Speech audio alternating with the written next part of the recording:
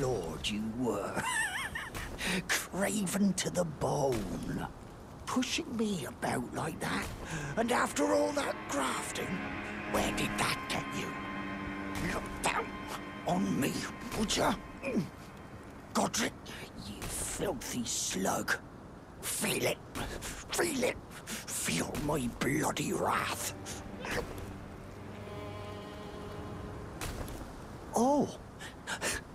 Hello there. This weasel was...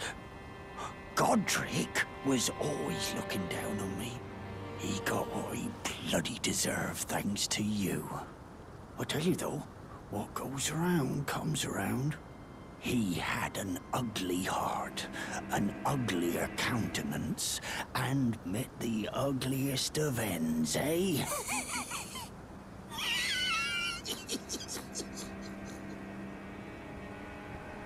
now, I suppose I'm free. I can do whatever takes my fancy. can I, mate? Now, I suppose I'm free. I can do, can I?